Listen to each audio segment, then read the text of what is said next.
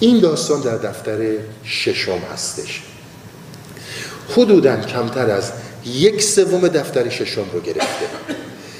و اسم داستان اینه حکایت آن پادشاه و وصیت کردن او سه پسر خیش را که در این سفر در ممالک من فلانجا چنین ترتیب چنین ترتیب نهید و فلانجا چنین نواب نصب کنید نواب یعنی وزیر استاندار بذارید. اما الله الله فلان قلعه مروید. گرد آن مگردید. به این داستان میگن داستان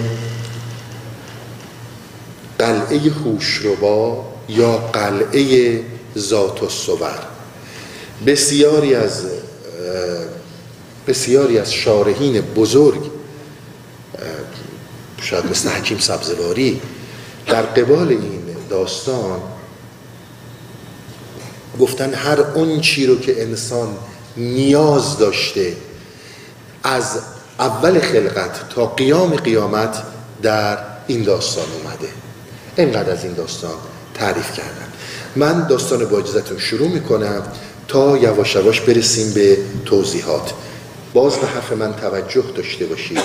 در جهان امروز جز اینکه وادارت کنن به قفلت و قافل بودن و ما رو تبدیل کنن به قافلین هیچ اقدام مثبتی کسی نکرده. جز اگنور کردن. جز اینکه فراموش کن هر وقت مردی مردی دیگه. اصلا برای چی اومدی؟ اومدی فقط کار کنی پول در بدید ما پولدارتر بشیم دیگه. اصلا دلیل دیگه ای نداشتی.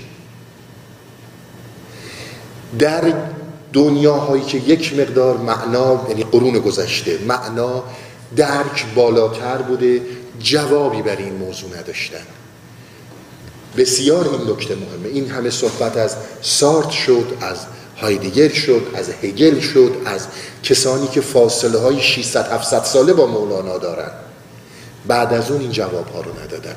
اگر هم می‌بینید مولانا در بسیاری از کشورهای غربی به طور جدی مطرحه برای اینکه مولانا شاید یکی از نادرترین کسایی که راهکار داره. و راهکارهای عملی داره. وعده سر خرمن به کسی نمیده. آقا اصلا حرف منو نگیر خودت برو ببین. ولی اینی که من میگم بکن.